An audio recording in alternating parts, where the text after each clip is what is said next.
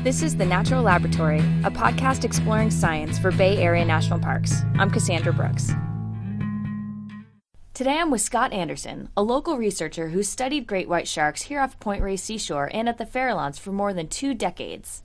In the fall of 2009, Anderson and his colleagues with Stanford University's Tagging of Pacific Predators program, UC Davis, and others published a paper on the sharks. Their study revealed new information about where the sharks travel to, how they spend their time, and showed that the shark population here off California is genetically different from great white shark populations throughout the world. I sat down with Anderson to find out more about the study and what it tells us about these iconic and revered animals. Maybe you could tell me a little bit about what a typical day is like for you out in the field. Yeah. Okay. So a typical day uh, going out looking for sharks. Let's say at, on the Farallon Island runs, we leave out of San Francisco now on a big sailboat called the Derek M. Baylis. It has this launch that we uh, go to the island and then we launch the launch and we work out of that for six hours on the water looking for sharks. Um, usually, what we do is we put a decoy out that's about the size of a small sea lion, and a small piece of whale blubber next to the boat. It's tied to the boat. What that does is provides a area of scent around the boat that gets the sharks interested in sticking around. And then if the sharks come around, we videotape them first, try to document what the shark looks like, who it is, and what their sex is, and then we go ahead and either tag that. How do you actually tag a great white shark? tag a white shark.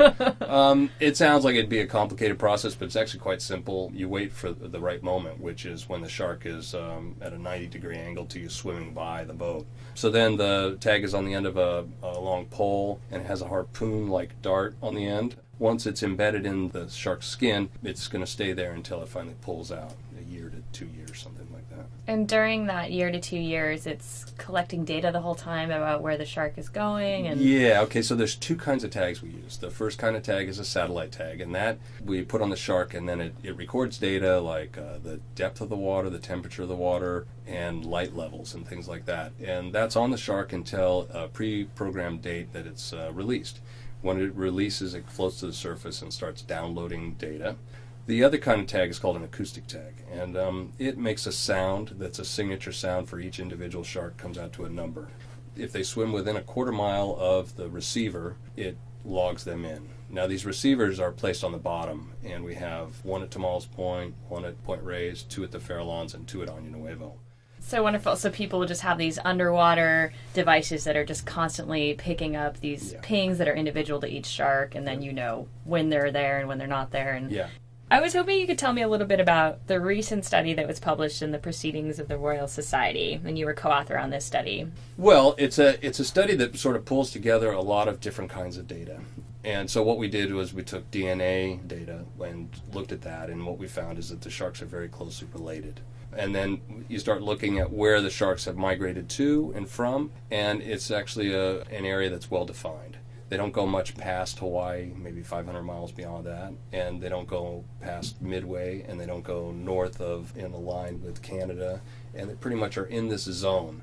But why do they even migrate as far as ah, past Hawaii? So why do they go there? Yeah. Well, that still remains a question to be answered, but it really looks like it has to do more with breeding than feeding because this population, when they're on the coast, is feeding on an abundance of food. So why would you go somewhere where there's very little food? You were talking that the study also shows that this population is genetically distinct. Does that yeah. so it means that they're not breeding with sharks from South Africa, obviously, right. or other areas? Because of the genetics, we know that they're isolated up here, and it's its own distinct population. So. And that seems like a very important finding in terms of understanding their role in the ecology here in the mm-hmm. North Pacific.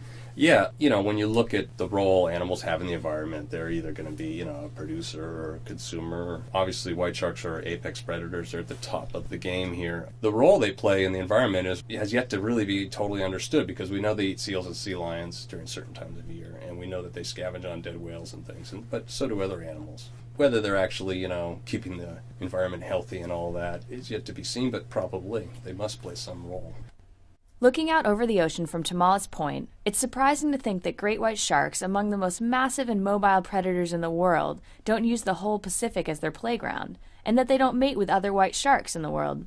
Instead, they follow a strict and isolating migration path between California and the Hawaii region, which as winter rapidly approaches they're soon to embark on. Why exactly they make these vast migrations remains to be seen, but until then, Anderson and colleagues will be out every fall doing more observational and tagging studies. With the Pacific Coast Science and Learning Center, I'm Cassandra Brooks.